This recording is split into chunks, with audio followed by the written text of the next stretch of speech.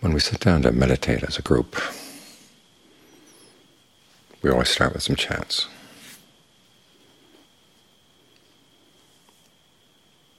And when you meditate alone, it's often useful to start with a few chants as well, to remind yourself of why you're meditating.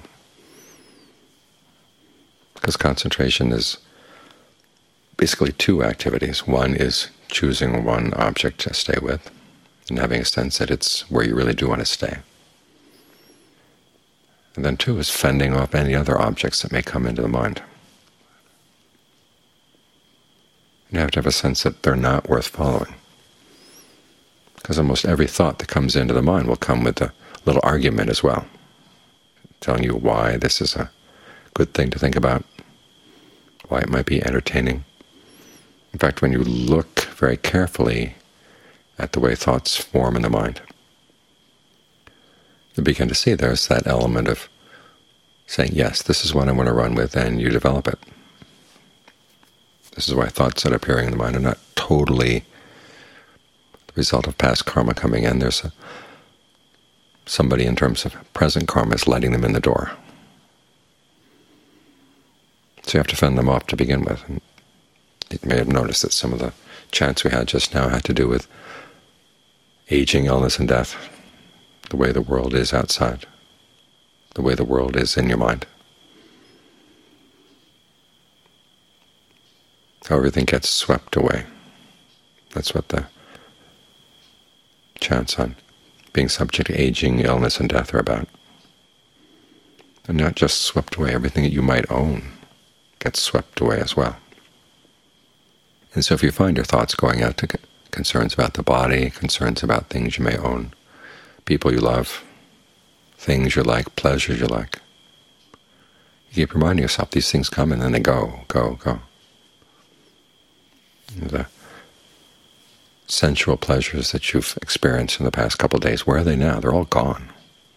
When you stop to think about how much effort gets put into getting the food you need, getting the clothing and shelter, and sometimes it goes beyond what you just need. You take a lot of these things because you like them, but then what happens? The, the pleasure's gone, gone, gone. It was it really worth all the effort that went into it. So these ch chants help to remind you that the things that you might be thinking about right now that are not related to the breath are really not worth thinking about nine times out of ten. And as for the one time out of ten, you don't have to think about that right now. If it's something really important, something really worth thinking about, you want to get your mind in good shape before you think about it. Just because it happens to run in the door doesn't mean that's the time you have to deal with it. It's like a child. You tell the patient, okay, you've got work you've got to do right now, and when the work is done, then you'll be able to pay attention to whatever the child is demanding.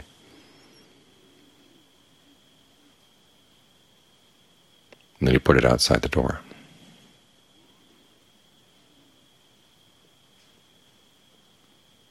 As for the breath, you want to remind yourself of why it is good to be with the breath. You can think about the, the advantages to the body. When the breath energy is allowed to flow throughout the body, it's a lot healthier than it would be otherwise. All the diseases that are caused by stress can be really treated with good breath energy. And so even if the mind doesn't settle down as much as you'd like it to during the next hour, at the very least you're working on something that's going to be good for the body. And of course, when the body is made more comfortable through the breath, then it's going to be easier for the mind to stay here. And you're strengthening good qualities in the mind. As the body relaxes, the mind gets its exercise. You're exercising your mindfulness, the ability to keep something in mind.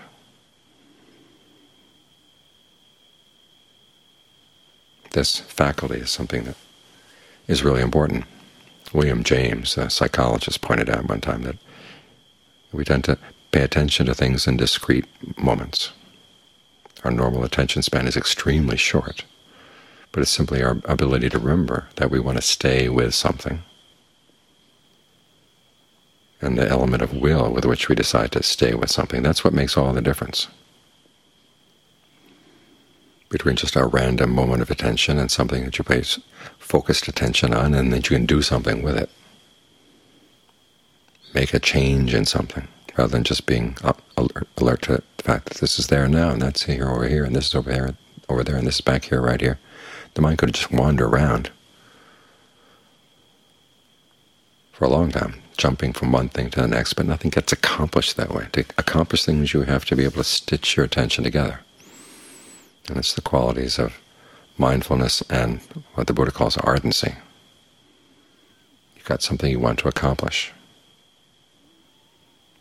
So you pay attention to the breath, and if you find that that moment of attention is about ready to falter, you just remind yourself again why you want to be here, why you don't want to be anywhere else.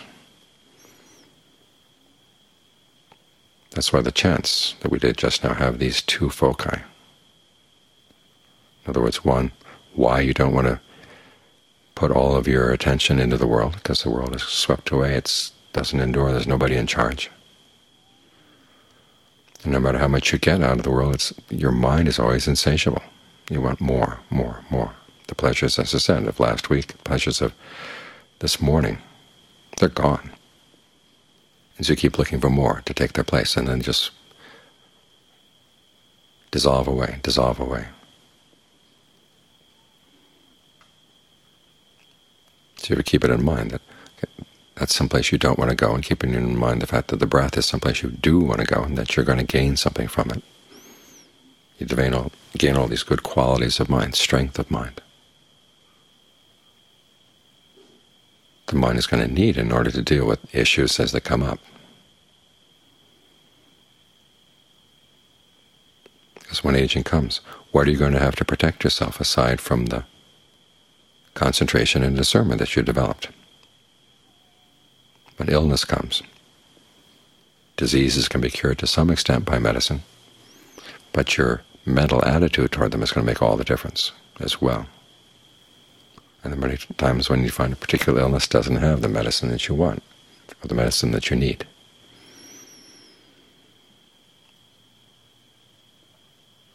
Because it's inevitable that at some point the body's going to break down. And no matter how much medicine you pour into it, it's not going to stop it from dying. And what is the mind going to do then? Where is it going to look for help? We have the chant on taking refuge in the Buddha and the Dharma and the Sangha, and what that means is following their example. That is through training the mind to be independent of things that age, grow ill, and die. That's how you find true happiness. Where do you look? Well, you start with the breath. Try to get the mind centered right here. So the practice of meditation has a lot of values built into it. Sometimes you see it presented as a totally valueless enterprise. It's just a technical skill. But if you really want to do it well, you have to have the right values to go along with it. This is what the chants help you with. You want a happiness that's blameless. You want a happiness that doesn't interfere, interfere with anyone else's true happiness. Well, this is the place to look. When you have your values straight, it's a lot easier to overcome the hindrances, overcome any distractions, and to get more and more firmly planted in the object of your meditation, both in terms of concentration and in terms of understanding the mind as it settles in.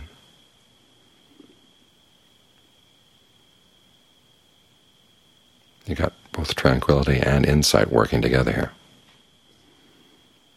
These are qualities you're going to need, so we work on them. As for your thoughts about yesterday or tomorrow, you don't need those. You can't take them as your refuge, but you can take the good qualities in the mind as your refuge.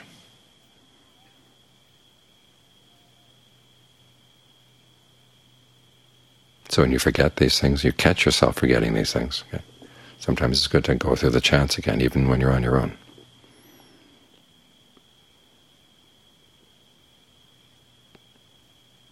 They act as a fence, keep you here in the area that you've chosen to focus your awareness.